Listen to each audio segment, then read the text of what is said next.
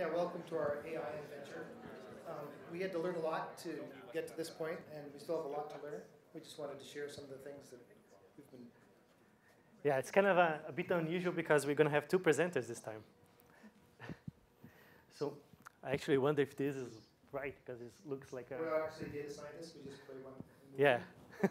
but do you see how the screen is just a little square? I wonder if we actually done something wrong or just. Yeah, it's my birthday, so I sacrificed my day for you guys. Thank you. It doesn't seem that playing is actually leading to full screen. Do you know how to make it full screen? we have PhDs, but we don't understand about computers. 640 by 480 ought to be good enough for anyone.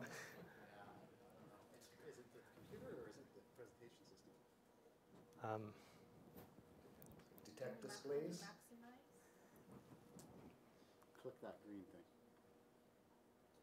Or play. yeah, that's what we're doing. S- Someone thinks the, oh, the monitor is.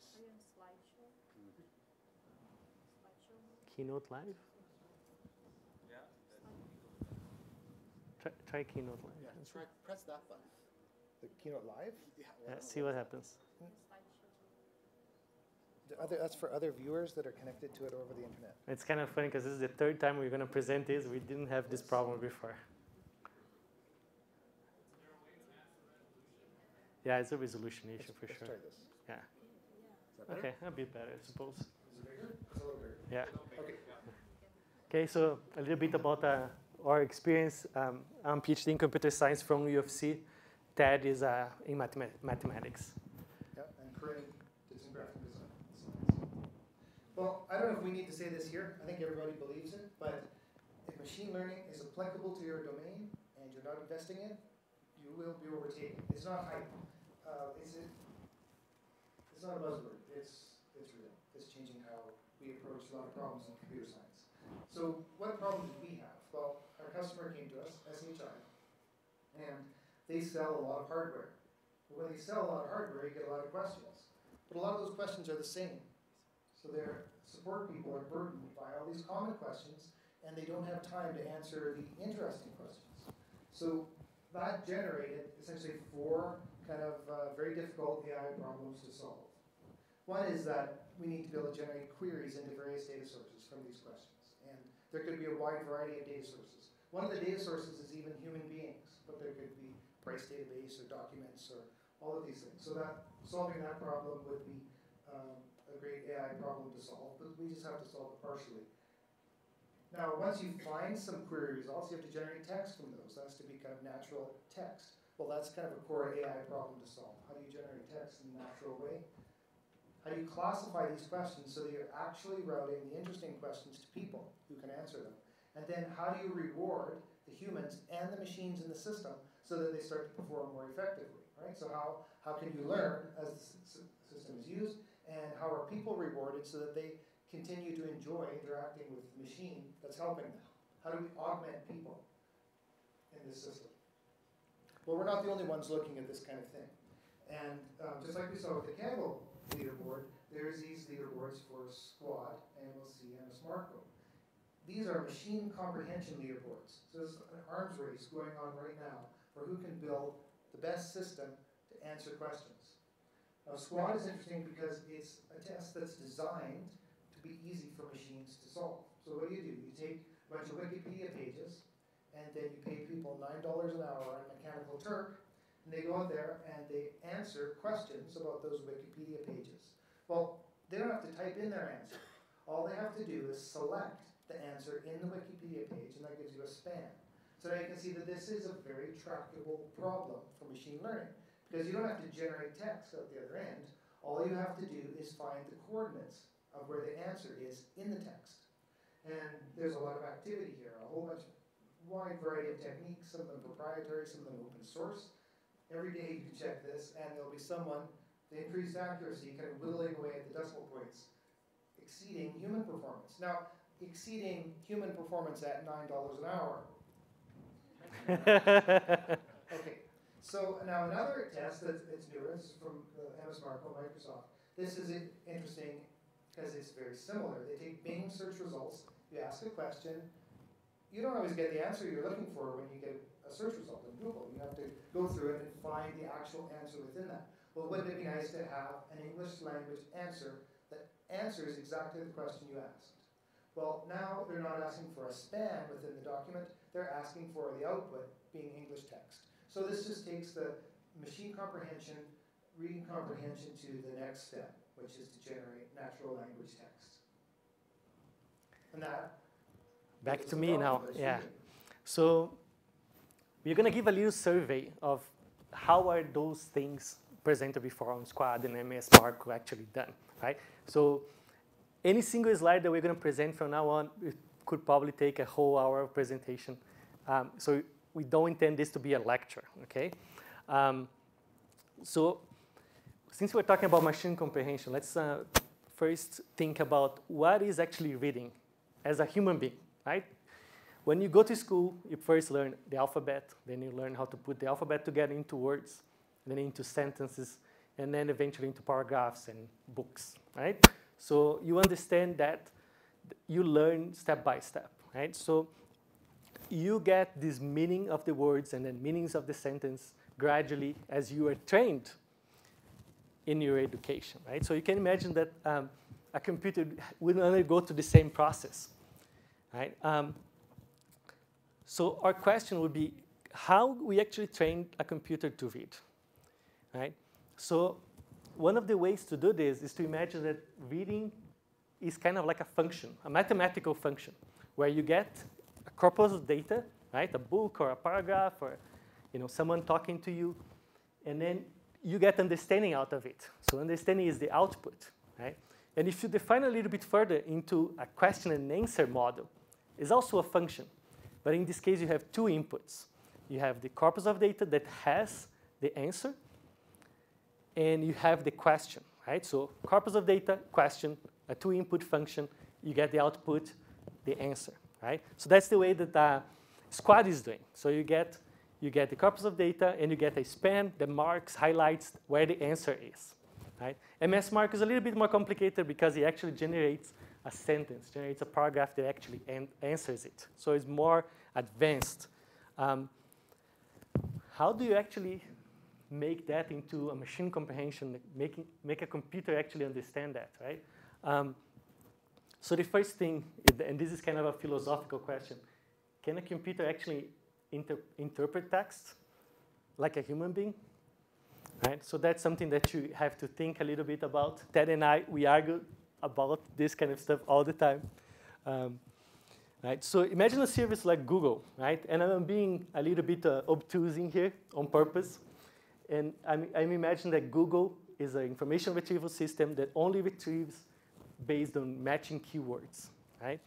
It's not entirely like that, but just imagine that it is, right? So a machine comprehension system actually works on top of that, right?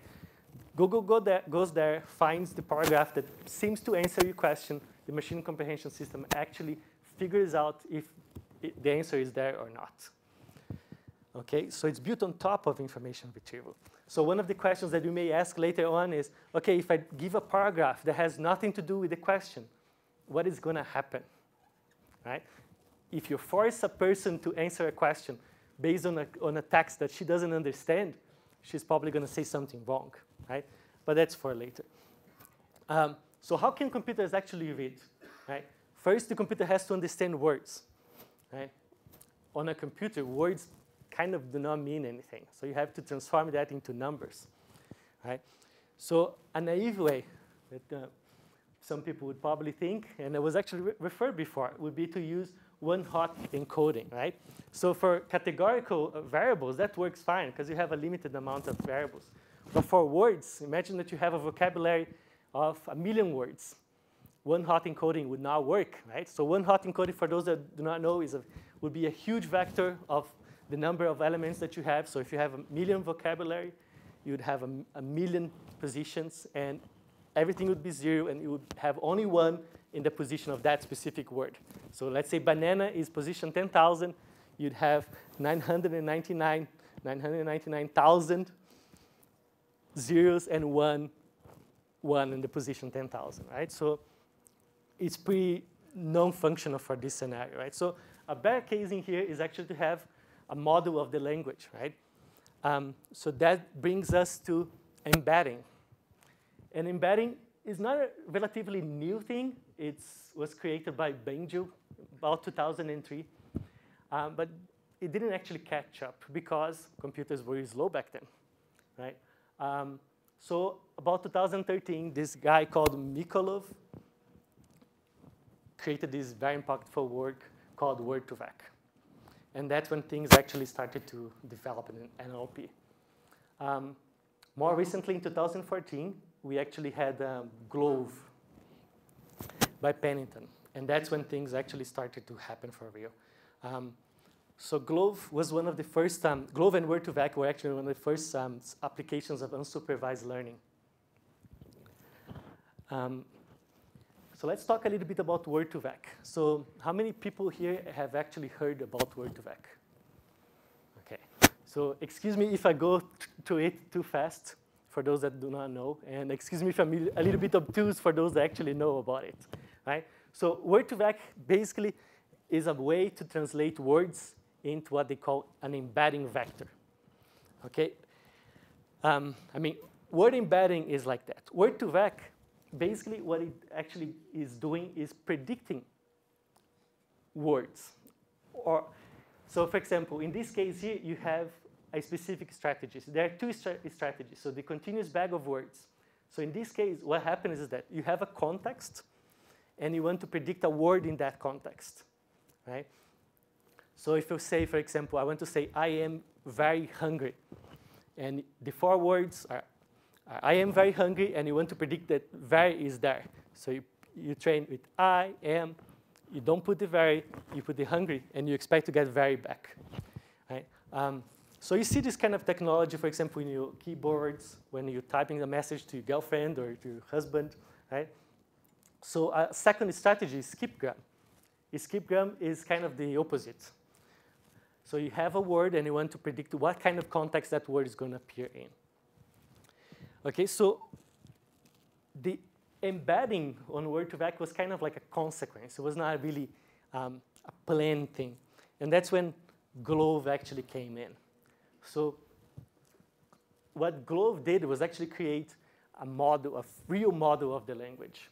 Right? So it basically it encoded the real relationship between the words and its meanings. And the way that is, that is done is by um, creating this co-occurrence matrix. Okay? So I'm not going to explain with too many details what the co-occurrence matrix does, but basically you see the A, B, C, D there. So imagine that that is, those are words, okay?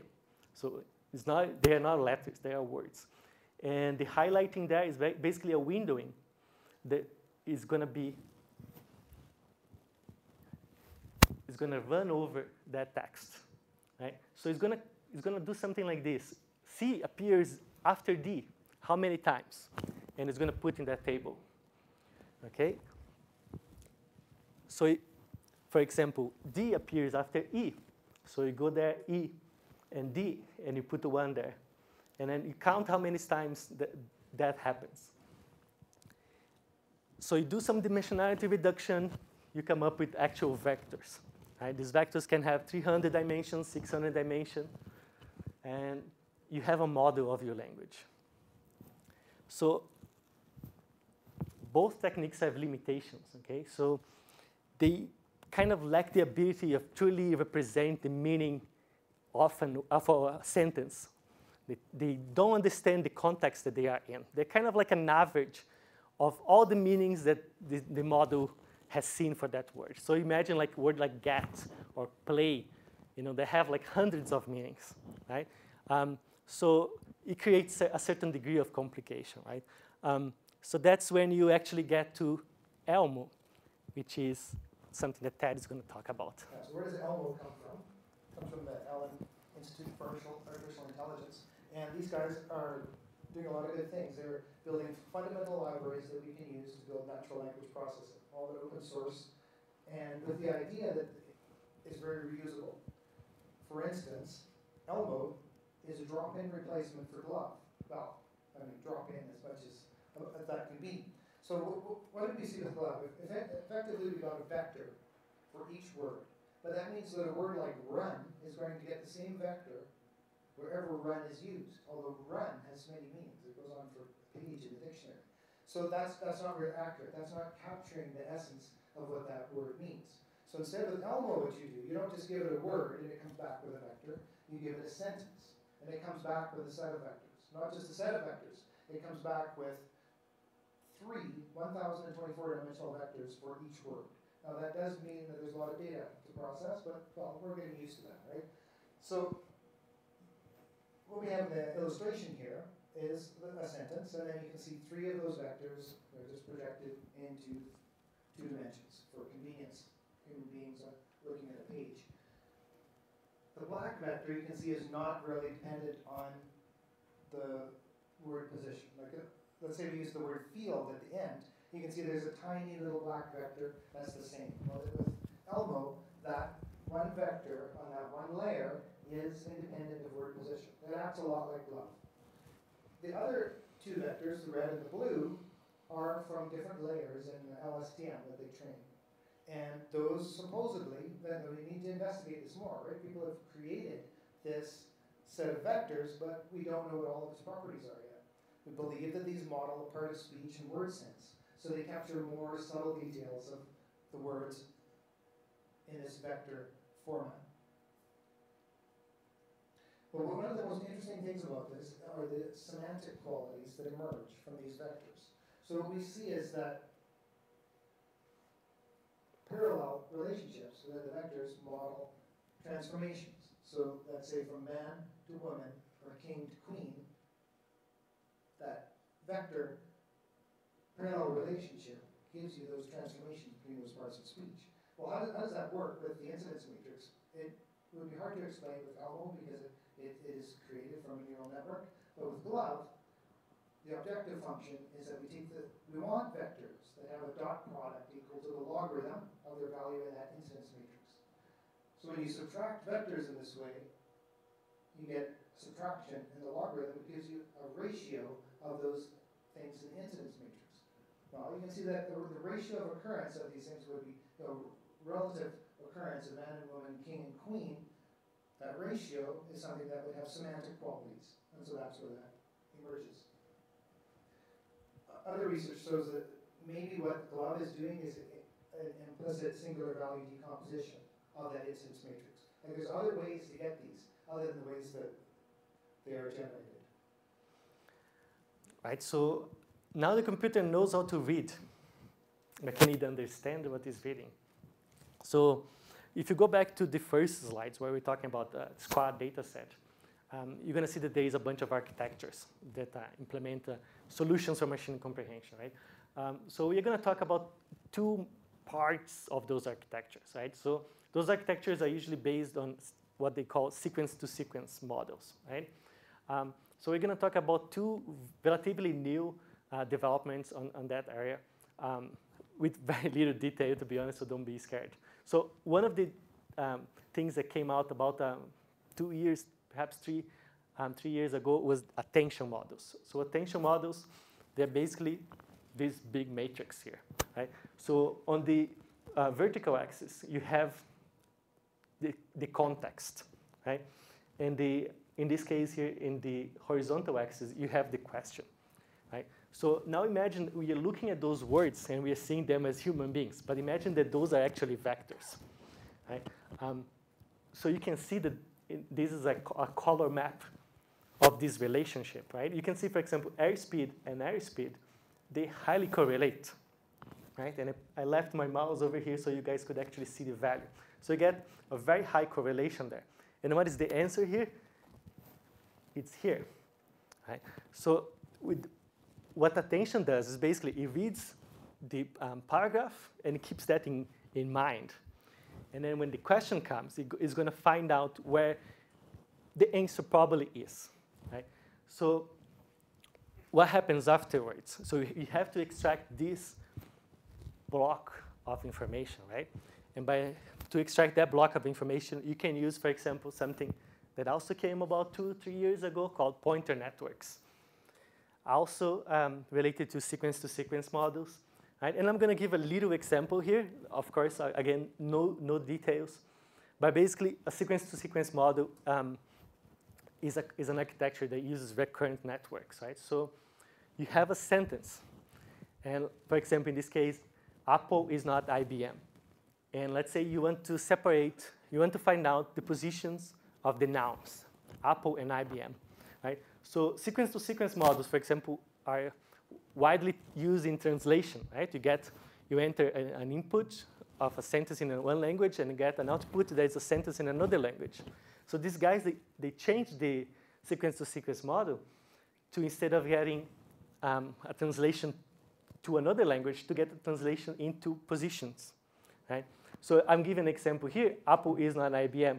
The network for this particular case only will, we want to find out only nouns would return one because Apple is the first word, will return four because IBM is the fourth word.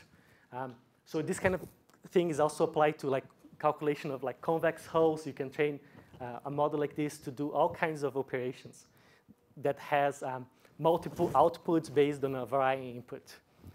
Um, so if you want to look more about these things, you can go to the Squad uh, dataset um, leaderboard, and you're going to find out um, architectures that use, employ these techniques, like BiDAF uh, from the Allen Institute, um, INET, SNET from Microsoft, and uh, the leader now is QA-Net from Google. Um, so after that, it's back to Ted. So do we really have enough here to teach computers how to read? That's the question. And you can, you can go and you can try out the BiDAF demo, but just Google for Allen AI and BiDAF, and you can enter in any paragraph of text and any question, and it will do its best to find and highlight that answer within that paragraph. But there's no reasoning. All it's using is linguistic patterns to find, you know, a, a range of text that matches the way you ask that question. In order to actually do IT support, it's very tricky. You have to go outside teach try turning it on and off again. Um, and there's other answers too. We probably need reasoning. Well, how are we going to get there? You've seen this slide before. The singularity is coming by the year 2030 machines will have the equivalent computing power to the human brain and we'll be able to do IT support as effectively as people can.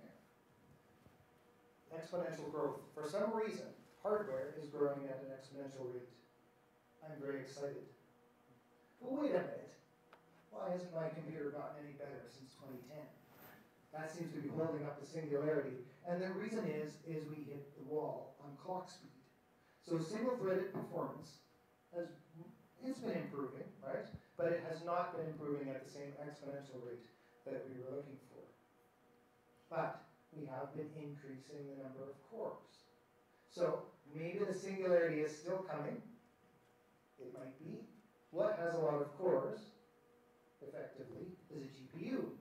So are we going to build superhuman AI performance using GPUs? Well, according to Wikipedia, if you look at this image, it almost looks like it. But I don't know. Let's zoom in up on that corner up there. So what are we actually measuring here? I never told you what this graph is. It's like gigaflops per dollar by year. If a superhuman AI costs billions of dollars, is it really as cost effective as manufacturing more human beings? Probably not. So that wouldn't be successful. So and now we have to look at this graph. Just looking at this graph, I don't know. I, I see perhaps anomalous behavior at time intervals too short. So you can go and look on Tech Power Up, and you can actually get gigaflops list price figures for GPUs. And what I'm seeing here is linear performance. NVIDIA would deny that. They would say uh, it's much faster than that. But you know what this looks like? This looks like increasing arable land with farming practices. Well, how are we doing that? Well, we're increasing the arable land by reducing the nanometer scale. Again, we can only go so far with that. So eventually GPUs are going to get bigger and bigger, I guess, if we're supposed to have this hardware singularity. Now, the other problem is Bitcoin. Why is Bitcoin a problem? Well, Bitcoin is driving up the price of GPUs, which is reducing our gigaflops per dollar performance, which means that singularity exponential growth is not occurring. Constant battle between AI researchers trying to get GPUs and Bitcoin miners trying to get them. Well, all right, so we might be skeptical about hardware singularity. But really, the substrate doesn't matter. We're all software. And if you look at um, what's going on in software, it is just tremendous, the, the development and rapid progress we're seeing in, in AI and machine learning right now. And why is that? Well, software could truly give us an exponential growth of feedback Why? If you take other libraries and use them in your code, there's a network there, an interaction between all of these different software modules that is capable of producing exponential growth, like breeding between software. Hardware, I believe that the hardware, appearance of hardware exponential growth is market driven. It's that, I don't wanna buy this unless its price is good. Well, you can't keep doing that forever because you hit a wall with clock speed. But how do you know? How do you know you've reached the software singularity? Well, you're working in TensorFlow, and by the time you've ported your code to the new version of TensorFlow, a new version of TensorFlow is out. So yes, we have reached the singularity. We've entered this realm of transformation where the future is inconceivable. In other words, API incompatibility from our point of view. How much time should we keep going? Ted likes to talk about uh, AI safety. Yeah, okay, Oh. we'll just, we'll talk about it very briefly. In fact, it's irresponsible not to talk about it, because we've seen a number of cases where society can be harmed by, say, manipulation. Now, don't worry about killer robots, yeah, maybe killer cars, but killer robots are likely what we'll see is manipulation of human beings by intelligent machines. And if you um, have seen the Google I/O presentation today, you may be getting a call from a Google Assistant representative Mm, Right. pretending to be a human being. to a machine or a human. You can learn all about this on Future of Life. This is a, an organization that is a strong advocate for AI safety, all the different dangers. But I think what's, what's interesting is that now the most difficult philosophical problem in the history of humanity has a deadline. Why? Are computers conscious or not? Well, if they're conscious, can you give them dangerous or even boring work? Is that ethical? We really need to solve this. Um, and we probably need to treat machines at least as well as we treat our employees in some cases. Skip these? I can just talk about Tensor versus PyTorch. Yeah, I think um, a lot of people ask, well, how do I get started on this kind of thing? And it depends. Are you applying for a job at Google or at Facebook? If you want to apply at Google, go with TensorFlow. Facebook, use PyTorch. No, not really. Uh, that, well, it is a factor, right? Um, TensorFlow, amazing hardware, eight times speed up on what they were showing last year. So if your goal is deployment production, TensorFlow is actually a very good choice. If you enjoy working in Python, you prefer it, you want to do some rapid development and you like the the PyTorch API, then that's the direction you should go. So rapid development, um, PyTorch production, TensorFlow is a good choice. Well, What we'd like is, we'd like people to share their ideas about where they want AI to go. This is a human problem, whether um, we're inundated with killer robots or not. We have to make good decisions and be good to each other. Enjoying the meetup, you're, you're here. Thanks. And that's it.